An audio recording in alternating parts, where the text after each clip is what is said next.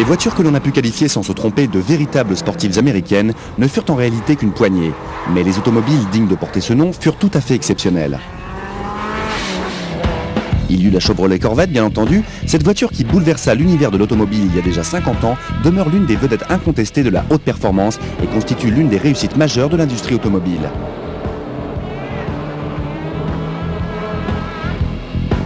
Cela a également concerné la Cobra Shelby. Pendant 6 ans, cette incroyable machine a affronté la tête haute toutes les plus grandes voitures du monde et les a systématiquement battues dans toutes les courses de Riverside au Mans. Au fil du temps, d'autres modèles sont apparus comme ceux de Sidney Allard et de Frank Curtis, qui durant les années 50 produisirent un certain nombre de sportifs sur mesure. Ou encore Bridge Cunningham, dont les Chrysler à moteur EMI constituèrent un fabuleux cocktail d'esthétique, d'ingéniosité et de puissance à l'état brut.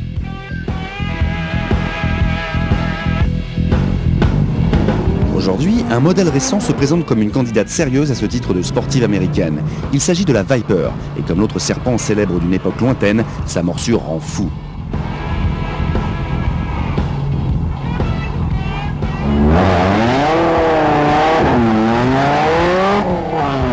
La Dodge Viper a été créée pour le seul plaisir de la vitesse. Ses concepteurs ont délaissé un grand nombre d'éléments auxquels on aurait pu s'attendre avec la firme Chrysler, tels que les ailes spacieux. Cette petite voiture ne peut pas plaire à tout le monde. Chrysler n'a d'ailleurs jamais envisagé de faire de la Viper la voiture de Monsieur Tout le Monde.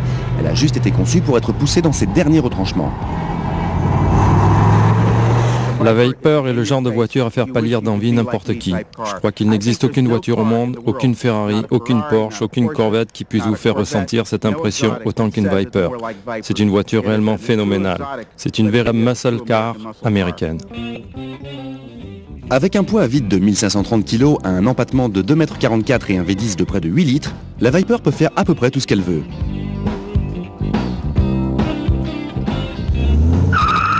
Elle possède la puissance d'accélération d'un dragster de Superstock et la maniabilité d'un prototype du Mans. En réalité, la Viper peut offrir un niveau de performance que la plupart des propriétaires ne pourront jamais atteindre. En revanche, tout le monde peut apprécier la ligne sensuelle de ce modèle. La Viper se situe en matière d'esthétique à un degré au-dessus de tout ce que l'on peut observer sur la route. Vous ne pouvez pas vous arrêter à un feu rouge sans que quelqu'un ne prenne une photo ou ne vous pose la question. Et si vous arrêtez dans une station-service, vous pouvez vous attendre à y rester une dizaine de minutes, car il y aura toujours des gens pour vous poser des questions. C'est une expérience vraiment fabuleuse. La Viper a produit l'effet d'un coup de tonnerre dans le monde de l'automobile et à un moment où l'on s'y attendait le moins. Ce fut d'autant plus une surprise qu'elle était proposée à la vente par Chrysler. Dans les années 60, cette firme était en effet loin de tenir une place prépondérante sur le marché de la muscle car. D'autre part, années 80, elle se cherchait un nouveau souffle avec ses key cars et son minivan. La Viper représenta le symbole de la nouvelle image, du plaisir et de la haute technologie vue par Chrysler. La Viper a entièrement transformé l'image de Chrysler. Cette firme a étudié le programme sous toutes ses coutures et a décidé. Voilà ce que nous incarnerons. Innovation, le style, nous devancerons tout le monde. Et c'est toujours vrai. La production d'une voiture telle que la Viper n'avait cependant rien à voir avec celle d'une berline familiale. Elle devait être à la pointe de l'innovation. Fixée, les ingénieurs durent partir de rien et tout inventer, y compris de nouvelles méthodes de production. Nous verrons comment ils ont procédé et qui furent ces hommes. Pour construire une voiture haute performance à la fin des années 80, il fallait bénéficier du soutien de la direction. Mais pour produire la Viper, il fallut obtenir le soutien de tout le monde. Bob Lutz, alors président de Chief Operating Officer de Chrysler, est l'homme à qui l'on attribue généralement la naissance de cette voiture. Lutz rassembla ses meilleurs éléments disponibles dans les domaines de l'ingénierie et du design et leur présenta l'idée qu'il se faisait de la Viper. Le responsable du design chez Chrysler, Tom Gale, reçut pour mission d'imaginer pour elle une ligne irrésistible. Pour la partie ingénierie, Lutz fit appel à François Castaigne afin de transposer ce projet sur la route et sur la piste.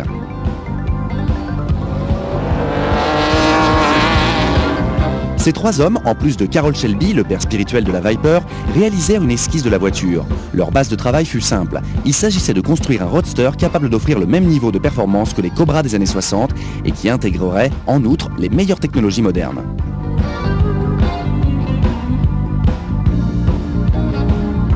Et comme si cela ne suffisait, lire une voiture dont le prix de vente se situerait aux alentours des 50 000 dollars.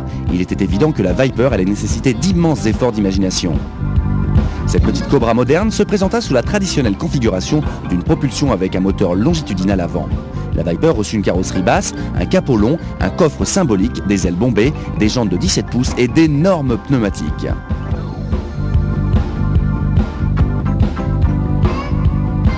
L'une des caractéristiques les plus frappantes de la maquette de Tom Gale furent les larges ouvertures situées à l'arrière des ailes avant, destinées à ventiler le compartiment moteur. Le premier prototype de la Viper fut propulsé par un 10 cylindres en V, obtenu grâce à l'ajout de deux cylindres supplémentaires à un V8 de série de 5 litres 9. Lorsque le concept car de la Viper fut présenté en 1988, beaucoup le considérèrent comme la digne héritière de la Cobra Shelby. Dans les trois mois qui suivirent sa présentation, Chrysler mit sur pied une équipe chargée de mener ce projet à son terme. Mais le temps était cependant compté car la sortie sur le marché était prévue pour 1992. Ce groupe d'ingénieurs, dirigé par Roy Schulberg, fut surnommé le Team Viper. Dodge réunit une grande partie de son personnel et annonça « Nous allons créer cette voiture. Qui veut s'investir dans ce programme et faire partie du Team Viper ?» Et tout le monde voulut le rejoindre. C'était là un projet enthousiasmant et bien plus en tout cas que celui des key-cars et des minivans. Le Team Viper se vit confier une tâche immense. Il disposait de moins de 3 ans pour mettre au point une version de cette série de cette automobile en se contentant uniquement d'un magnifique dessin, d'un prototype et d'un mandat de Bob Lutz. Le deuxième prototype de la Viper fut réalisé en fibre de verre. Sa carrosserie était déjà dotée de nouvelles caractéristiques définitivement adoptées sur le modèle de série, comme l'arceau de sécurité et les échappements latéraux. Pour la carrosserie de la Viper de série, on décida de recourir aux matériaux composites. Cette solution permit d'obtenir un gain de poids significatif et d'accélérer le processus de production. Sous cette nouvelle robe, les ingénieurs décidèrent d'installer un châssis tubulaire avec poutre centrale offrant une rigidité exceptionnelle. La Viper allait par ailleurs être équipée d'une suspension moderne ainsi que d'énormes freins à disque ventilés de 13 pouces sur les 4 roues. Des pneus avant de 275-40 montés sur des jantes en alliage de 17 par 10 et des pneus arrière de 335-40 montés sur des jantes de 13 par 17 allaient permettre à cette voiture de littéralement coller à la route. Dans un souci de limitation des coûts, la Viper reprit certains composants de transmission déjà existantes, ainsi que le nouveau V10 de 8 litres conçu à l'origine pour les pick-up.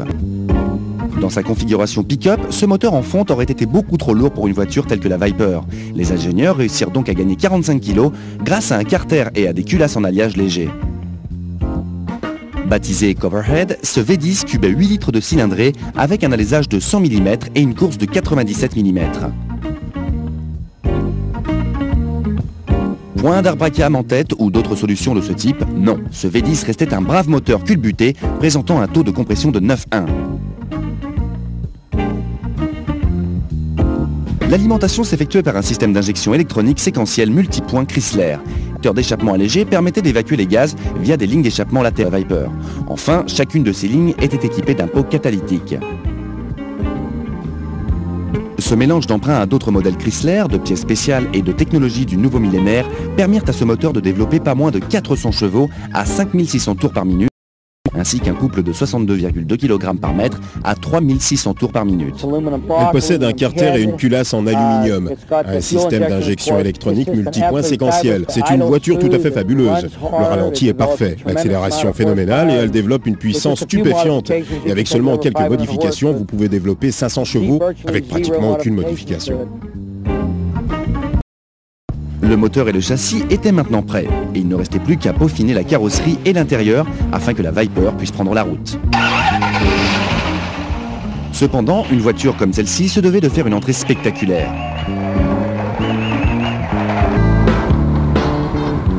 Lorsque la Viper RT10 apparut dans les showrooms des concessionnaires en 1992, elle accéda immédiatement au rang de légende. Même si le modèle de série ressemblait beaucoup au prototype, pas un seul panneau de la carrosserie n'était cependant identique. Plus important encore, il devint évident pour tous les propriétaires d'une RT10 qu'aucune voiture américaine ne pouvait rivaliser. En dépit d'une ligne particulièrement consensuelle, la Viper n'était cependant disposée à n'accepter aucun compromis. Et cette idée s'imposait à vous dès que vous posiez votre regard sur elle. Vous ne trouverez aucune concession au luxe dans une Viper, à l'exception de deux confortables baquets en cuir, il n'y a pas de vitre latérale ni même de poignée extérieure. Y a bien une capote en tissu avec des plexis latéraux amovibles, mais si vous recherchez une transmission automatique ou la climatisation, passez votre chemin. La Viper est une voiture virile à 100%. Lorsque vous vous installez à son bord pour la première fois, vous comprenez tout de suite qu'elle fut conçue par et pour de véritables pilotes. Les gros cadrans à fond blanc sont disposés afin d'offrir une lecture facile. Le pédalier et les commandes manuelles, quant à eux, sont idéalement positionnés pour la conduite. Lorsque vous appuyez sur l'accélérateur, le gros V10 placé sous ce long capot se met à cracher une puissance et un couple qui vous feront oublier tous vos classiques. Cette voiture est le vrai pur sang du nouveau millénaire. À moins de l'avoir essayé sur un circuit, vous ne pouvez pas imaginer ce que cette voiture est capable de faire. Je me moque de ce que l'on peut dire, mais j'affirme qu'il est impossible de la tester réellement sur route. Enfin, du moins si vous êtes censé. Grâce à sa boîte Borg et Warner 6 rapports et à un différentiel à glissement limité, la Viper RT10 peut passer de 0 à 100 en 5 secondes 1, dévorer les 400 mètres en 13 secondes 5 et atteindre une vitesse maxi de 265 km par heure. Belle performance pour une voiture propre et autorisée à circuler dans tous les États-Unis. Mais aussi stupéfiantes que peuvent être ses performances, l'aspect le plus impressionnant de cette petite voiture est sa qualité de fabrication. Cette qualité s'explique par la conception même de la Viper. Au début, Chrysler assembla à peu près 7 à 8 Vipers par jour, sur des semaines de 5 jours. Il s'agissait donc là d'une très petite production. La voiture ne passait pas d'un point à un autre sans avoir été auparavant entièrement contrôlée, et tout fut donc parfaitement assemblé. Elle était produite de façon tout à fait artisanale. À la fin du millésime 1992, 251 Viper RT10 étaient déjà sortis des chaînes. Et même avec un tarif plutôt salé de 56 000 dollars, la liste d'attente commençait à s'allonger.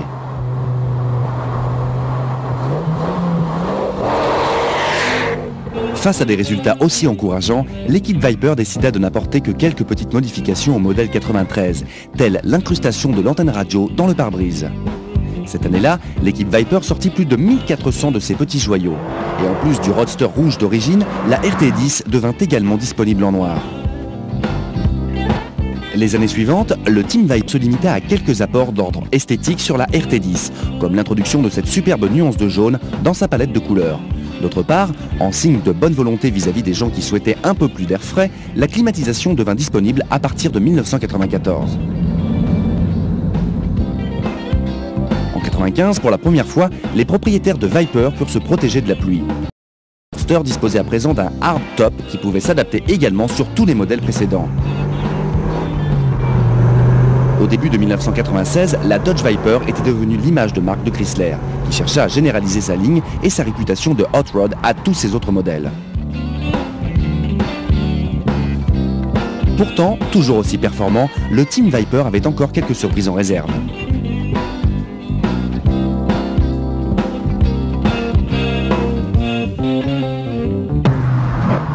Loin d'apparaître comme un modèle vieillissant, la Viper, produite maintenant depuis 5 ans, continuait à se vendre sans le moindre souci. Les concepteurs de la Viper ne pouvaient toutefois être pleinement satisfaits tant qu'il resterait encore un point à améliorer sur cette voiture. En 96, le châssis fut modifié afin d'offrir une plus grande rigidité. La suspension, quant à elle, s'assouplit légèrement. Par ailleurs, une bonne partie des pièces en acier de la suspension furent remplacées par des pièces en aluminium, ce qui permit de réaliser là un gain de 27 kg. L'une des modifications les plus marquantes fut le déplacement des pots d'échappement, qui se retrouvèrent dans une disposition plus conventionnelle. Cela permit non seulement d'épargner de nombreux bas de pantalon, mais aussi, selon les propriétaires, de renforcer le côté brut de la sonorité de l'auto.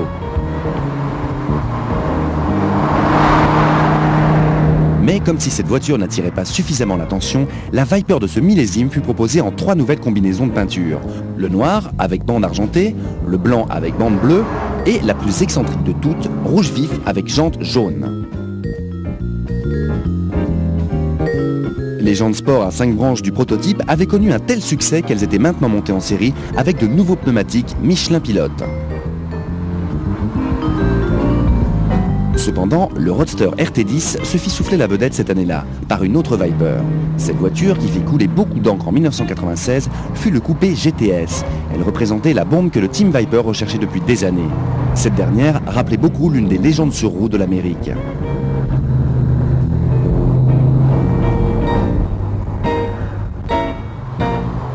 Ce coupé GTS, la toute dernière supercar de l'Amérique, rendait effectivement hommage à Carroll Shelby. La carrosserie de la GTS était bien plus que celle d'une RT10 dotée d'un vrai toit. L'avant avait reçu un important lifting avec une calandre plus large, de nouveaux phares, une entrée d'air dans le cycle NACA, ainsi que de nouvelles prises d'air sur le dessus des ailes avant. À partir des portes, tout était en revanche entièrement nouveau, avec un haillon entièrement vitré et un béquet arrière.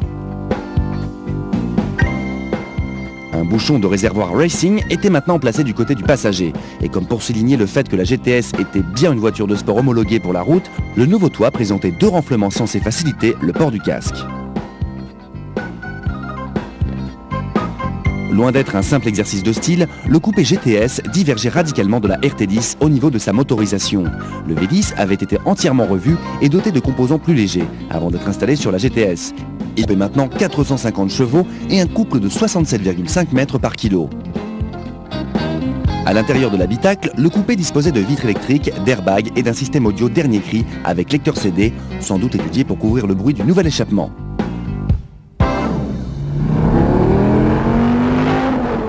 Avec la sortie du coupé GTS, la Viper devint plus que jamais une voiture à part sur nos routes traditionnelles. Toujours dans le souci d'adapter les dernières nouveautés dès que celles-ci apparaissaient, lors des deux années suivantes, le Team Viper fit de petites choses comme améliorer l'intérieur cuir et d'autres plus importantes comme remplacer les collecteurs d'échappement en fonte par des collecteurs tubulaires permettant de réaliser un nouveau gain de poids. Il devenait maintenant de plus en plus difficile de trouver des moyens d'améliorer encore cette voiture, quasiment parfaite. Disposer d'une bonne source d'information, le courrier des propriétaires de Viper.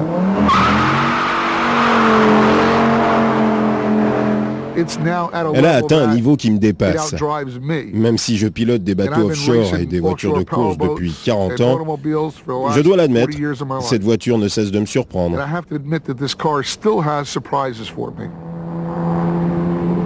L'équipe Viper disposait également d'une autre source d'information pour la recherche et de développement, la piste.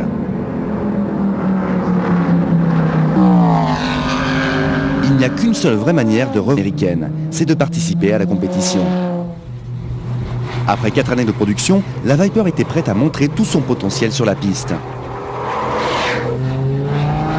Lorsque cela se produisit, les résultats furent, comme on pouvait s'y attendre, excellents. La Viper remporta le championnat FIA des constructeurs et celui des GT. Elle gagnait même la course la plus prestigieuse du monde, les 24 heures du Mans. La voiture utilisée pour cette dernière course fut une GTS spéciale dotée d'un châssis plus rigide, d'une carrosserie en fibre de carbone et d'un V10 développant pas moins de 700 chevaux.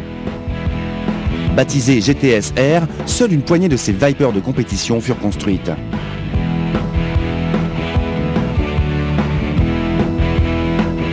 Toutefois, Chrysler décida de proposer au public en 1998 une réplique de cette fabuleuse GTS R. Avec sa peinture blanche et ses bandes bleues, dans le plus pur style américain, cette réplique disposait d'ailes arrière en fibre de carbone et de jantes spéciales BBS. C'était là une belle façon de fêter les succès de Viper en compétition. Pourtant, en dehors des victoires de la Viper en course, on ne pouvait pas nier qu'il s'agissait là d'une véritable muscle car et les muscle cars ne se sont jamais autant à l'aise que sur une piste de dragster. La Viper de Doug Levin court maintenant avec une installation au protoxyde d'azote réalisée sur mesure et un compresseur entraîné par courroie. Cependant, la Viper la plus exceptionnelle est bien celle de Tony Darwin, Sir Is.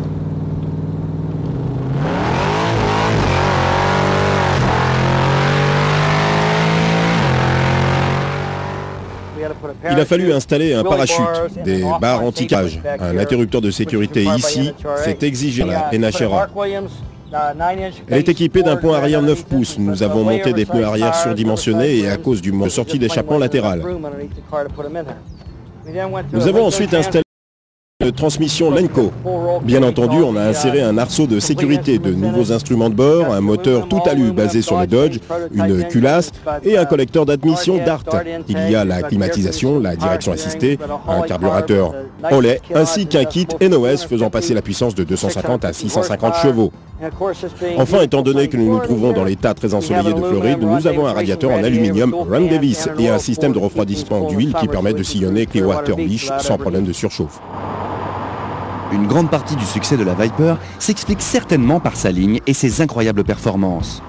Mais il faut aussi souligner le fait que quasiment depuis le premier jour, les ingénieurs de Chrysler bénéficièrent de la coopération active des propriétaires.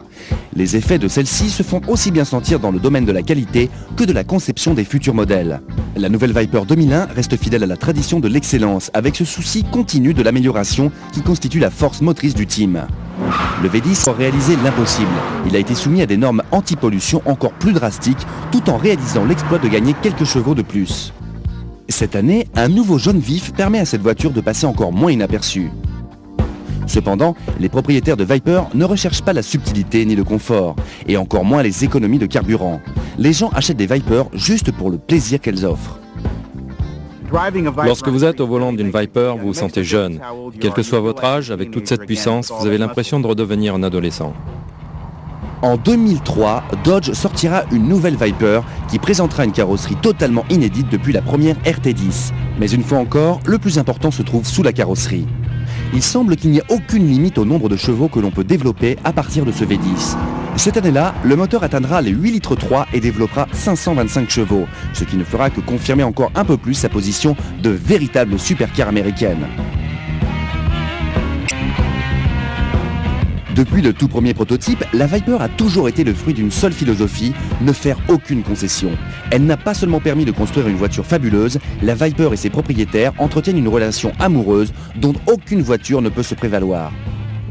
À l'époque où je me passionnais pour les Corvettes, dès que des innovations apparaissaient sur la voiture, je vendais la précédente pour acheter la nouvelle. Je n'ai pas la même attitude avec cette voiture. Que ce soit la vitesse à laquelle vous roulez, elle vous impressionne toujours. Alors pendant que certains prétendent que l'ère des muscle cars est révolue, les propriétaires de Viper prouvent, eux, sur les routes comme sur les pistes, que la muscle car n'est pas morte. Elle est simplement plus rapide qu'autrefois.